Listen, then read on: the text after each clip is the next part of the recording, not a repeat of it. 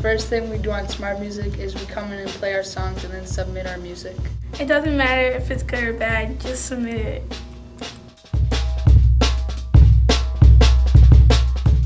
Then Porter looks at it and she'll give you feedback so you know what you need to work on. So we listen to our song and see what we're good at and see what we need to work on it.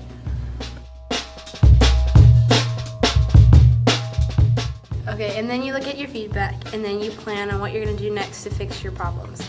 Just sign up on uh, online for lessons. Is first you go on bcband.org, then you go scroll down a little bit and it'll say uh, online scheduling, and you click on that, and then it'll have a lot of stuff. Um, it'll tell you your date when you want to do it and what time you want to do it, and then uh, you pick out what you want to do, and then it'll go.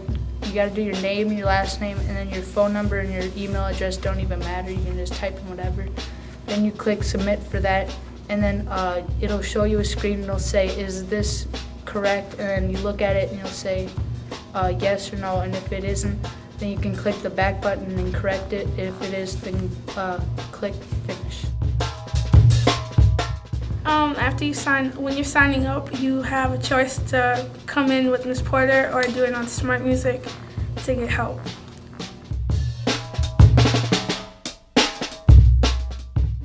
It doesn't matter how many times it takes to get it right, you still need to come down and work on it till it's good.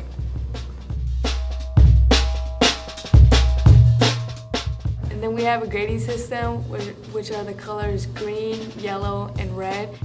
Red would be incomplete, like um, yellow is still you need to work on it, and the green would be you mastered it. It's important for everybody to complete their stuff so that everybody as a whole group can sound good.